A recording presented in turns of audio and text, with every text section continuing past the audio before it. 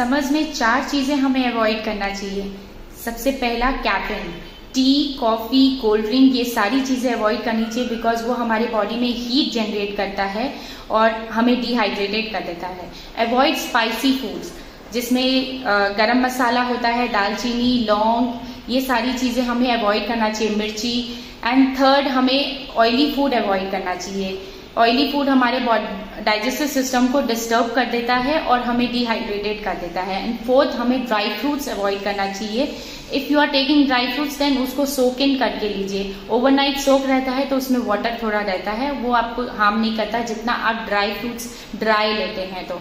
And क्या चीज़ें सबसे ज़्यादा हमें लेना चाहिए? तो सबसे पहले पानी. बहुत ज़्यादा पानी पीजिए. जितना आपकी इच्छा हो, पानी पीजिए. पानी का कंटेंट ज़्यादा बढ़ाइए समझ में. वाटर रिच फ़ूड जैसे कि क्यूकुम्बर वाटरमेलन मस्कमेलन वो ज़्यादा से ज़्यादा खाने की कोशिश करिए।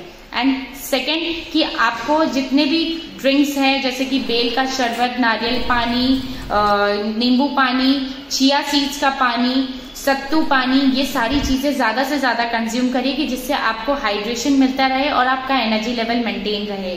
Till then take care stay healthy